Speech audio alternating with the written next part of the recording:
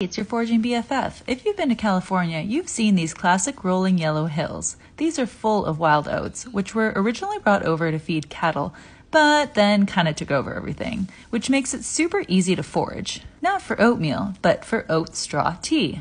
Oat straw tea is rich in phytonutrients. It can help with digestion and relieve stress, making it the perfect evening drink. It's easy to identify with its flower pods hanging down, and the stem should be hollow if you take a look inside. Both the stem and the flower pods can be used in your tea, but just make sure to remove any leaves from the outside.